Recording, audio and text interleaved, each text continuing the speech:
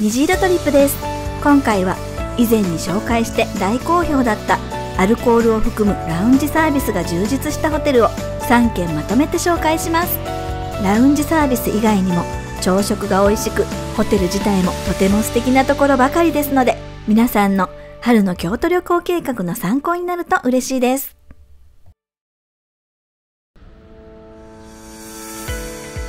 1軒目に紹介するのは JR 山陰本線梅小路京都西駅から徒歩5分。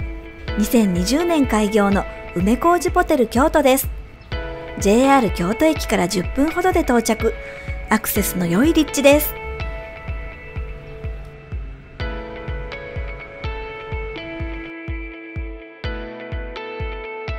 エントランス入ってすぐのロビーフロアは広々としてシックで大人の雰囲気です。大きな窓からは木々の緑が見えてまるで森の中のホテルのようです。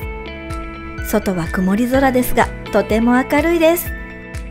左側にはカフェがあり右側は朝食会場となるレストランです。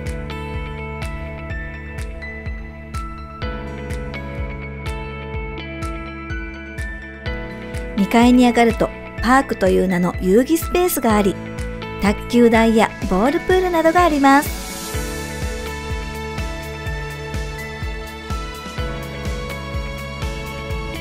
今回紹介する客室はガーデンツイン31平米のお部屋です。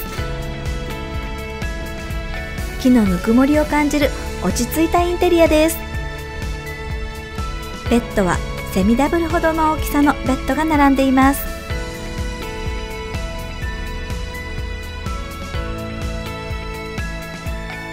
室内とバルコニー両方にテーブルセットが置かれています。窓からは公園の木々を見ることができ素敵です。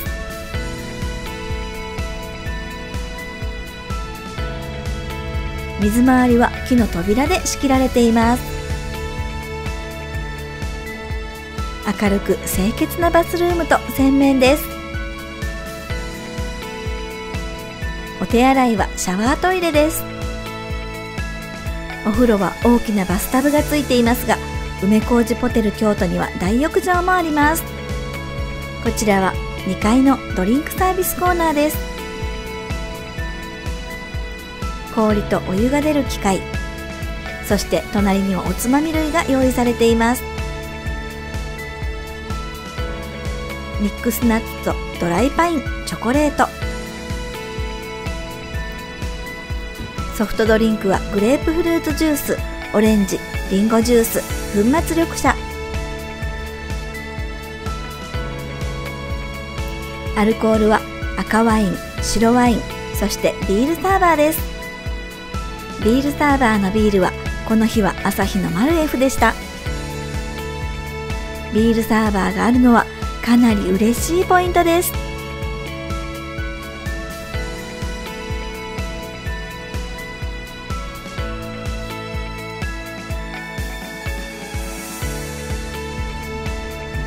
下の冷蔵庫には冷えたワインとスモークチーズが入っています。ドリンクコーナーの横は共用スペースがありこちらで飲むこともできますが部屋に持ち帰り楽しむこともできます。プライベート空間でゆっくりビールやワインを楽しめるのはかなり嬉しいポイントです。明るい時間から公園の木々を眺めながらのワインはまさに非日常の時間です。ドリンクコーナーの向かいにはゆっくり本を楽しむブックのコーナーもあります。好きな飲み物片手に優雅な時間が過ごせそうです。3階にはブックとゲームのコーナーがあります。絵本とボードゲームが置かれ自由に遊ぶことができます。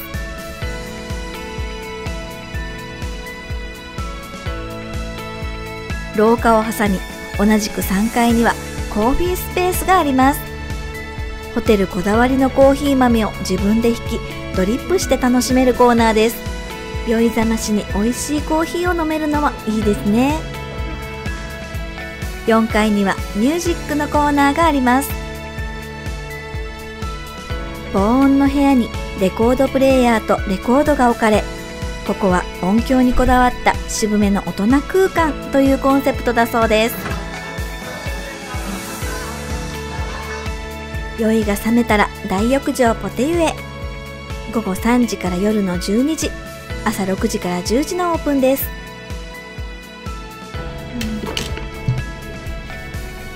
ポテ湯は昔懐かしい銭湯をイメージしたお風呂です。売店営業時間内であれば湯上がりドリンクも販売されています。朝食は1階レストランでビュッフェ形式での提供です。色とりどりのサラダやおばんざい唐揚げ煮込み料理や洋食メニューなど種類が豊富です。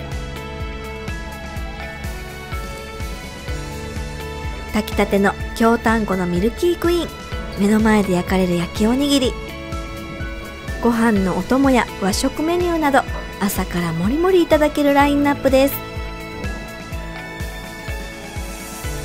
色とりどりの和菓子もありました。優しい味付けからがっつり系のものまで何を食べても外れなしの美味しい朝食でした。宿泊料金は2024年3月と4月2名1室の場合一休 .com ではこのような金額になっています。2軒目に紹介するのは京都市営地下鉄烏丸線烏丸お池から徒歩2分。2022年開業のザ・ロイヤルパークアイコニックです。観光に便利な東西線沿いで駅地下の高立地なホテルです。洗練されたとてもかっこいい外観です。ホテル内には貞治青木のパティスリーシンクロニア・ディシンジ原田のイタリアンレストランがあり宿泊者専用ラウンジではパティスリーのスイーツやイタリアンレストランのアペタイザーなどが提供されラウンジのフード類の質が高いことが特徴です。ロビーはコンパクトですが落ち着いたインテリア。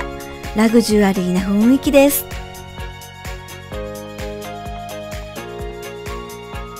客室フロアに続く廊下にはふかふかのカーペットが敷かれ高級感があります。客室数はスイート1室を含む125室。全室25平米以上の広さとなっています。今回紹介する客室はスーペリアキング32平米のお部屋です。入ってすぐ目に入るのが大きな窓。とても明るいです。窓からお池通りが一望できます。インテリアは白とアースカラーで統一されています。築浅のホテルだけあり水回りはとても綺麗です。こちらのホテルも大浴場がありますがお風呂は大きなバスタブ付きでお手洗いとは別の独立タイプです。トイレはシャワートイレです。ミニバーにはネスプレッソが用意されていたり食器類もこだわりを感じる上質なものが置かれています。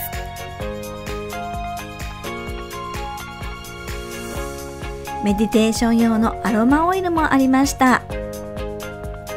客室車専用ラウンジアイコニックラウンジは12時から5時はアフタヌーンサービス5時から9時がカクテルサービスとなっています。また10時から2時はリフレッシュメントタイムとしてドリンクサービスが提供されます。ラウンジはホワイトカラーをメインにした清潔感と落ち着きのある空間です。客室同様に窓が大きく自然光が入りとても明るいです。アフタヌーンタイムはソフトドリンクと貞治青木パリのスイーツセットがサービスされます。スイーツがトランクに入っておしゃれな演出が楽しいです。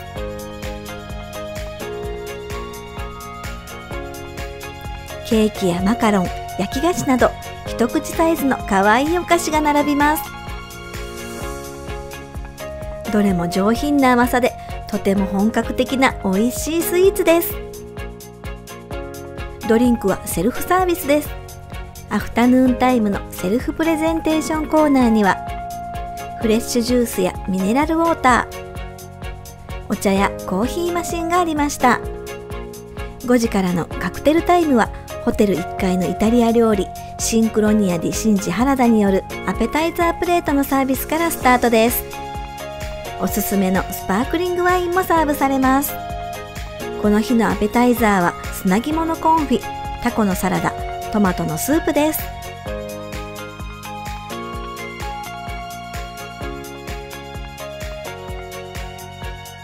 カクテルタイムのセルフプレゼンテーションコーナーには、スパークリングワイン、赤ワイン、白ワイン、トニックウォーターや炭酸水、リキュール、ウイスキー、ウォッカ、焼酎もあります。冷蔵コーナーには瓶ビールが4種類、インゲンの和え物やチーズ、京オリーブ、ピクルスなど、フィンガーフードも用意されています。フードは見に来るたびに違うものに変わっていました。ソフトドリンクはフレッシュジュースや瓶のジンジャーエールなどがあるので、オリジナルカクテルを作ることもできます。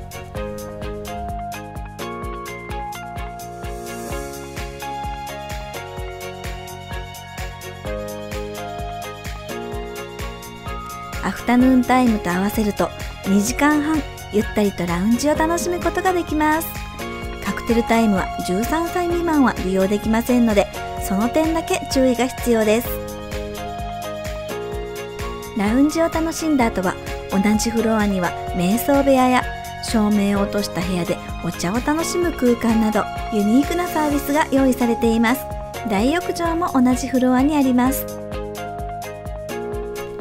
朝食は1階のイタリアンレストランにて提供です。朝食メニューは小鉢6種とデザート。メインはパスタ豚汁とご飯バンガユなどから選ぶことができます。小鉢はカラスミ入りのバーニャカウダや豆腐のカプレーゼ、マッシュポテトといただく蒸し穴子など、どれも繊細で趣向を凝らした美味しいお料理が朝からいただけます。チェックアウトは11時、朝食後も部屋やラウンジでゆっくりくつろぐことができます。宿泊料金は2024年3月と4月2名1室の場合一休 .com ではこのような料金になっています。最後に紹介するのは京都市営地下鉄市場駅から徒歩3分。ホテルインターゲート京都市場新町です。京都の街に溶け込んだ趣ある外観です。こちらのホテルは2018年開業。館内はまだまだ新しくとても綺麗です。ロビーも趣たっぷり。窓からは坪庭が眺められくつろげる空間です。1階の宿泊者専用エリアに入って左手には大浴場があります。今回紹介する客室は部屋指定なしの宿泊ですがおそらくスーペリアハリウッドツインのお部屋です。スタンダードなビジネスホテルという雰囲気ですがとても綺麗で清潔感があります。入り口前の空間が広いのでスーツケースを広げるにも余裕のスペースです。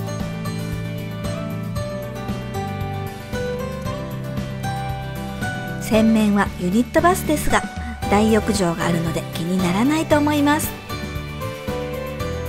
アメニティ類も過不足なく用意されています。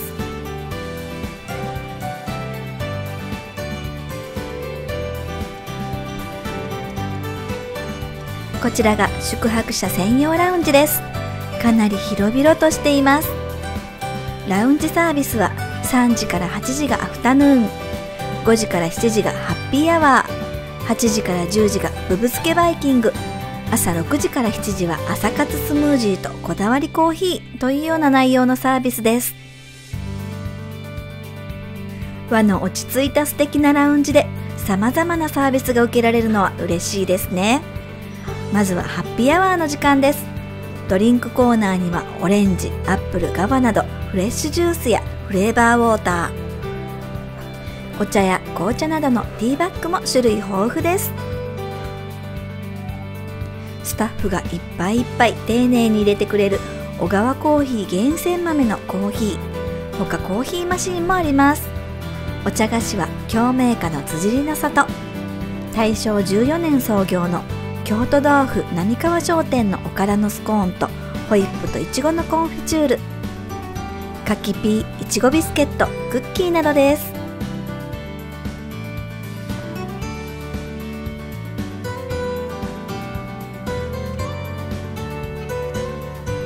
5時からのハッピーアワーにはドリンクコーナーにはワインが並びます。この日はホテルのアニバーサリー記念でスパークリングワインも並んでいました。おつまみはクラッカーちりめん山椒岩のりクリームチーズ柿ピーもありました。ドリンクだけではなくおつまみが用意されているのでお酒が進みます。スタッフが作ってくれるカクテルも2種類ありました。フレッシュジュースとワインでオリジナルカクテルを作って楽しむこともできます。8時からはブブ漬けバイキングです。具材は鮭ほぐしや湯葉ちりめん山椒肉そぼろ。薬味は柚子胡椒やわさび生姜など。そしてしば漬けや梅干しあられなどトッピングが数多く用意されています。お茶またはだしをかけてオリジナルのブブ漬けが完成です。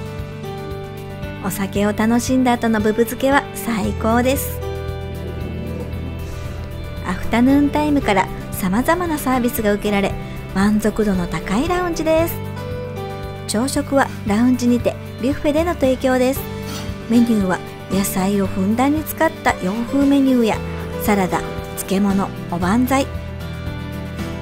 旬の食材を使った季節メニュー。蒸し物焼き物煮込み料理。旬の果物やヨーグルト焼きたてパンなどかなり種類が多いです。デザートコーナーにはケーキもありました。野菜たっぷり色とりどりの美味しいおかずとデザートに朝から大満足間違いなしです。宿泊料金は2024年3月と4月2名1室の場合一休 .com ではこのような料金になっています。以上ラウンジサービスが充実した京都のホテル3軒の紹介でした。いずれも1年以内の宿泊情報ですが利用される際は最新のサービスについてホテルホームページなどでご確認ください。このチャンネルでは通常様々な場所へコスパよく旅をする様子を Vlog でお届けしています。旅の費用も全て公開していますのでご興味を持っていただけたらチャンネル登録をしていただけるととても嬉しいです。それではまた次の旅でお会いいたしましょう。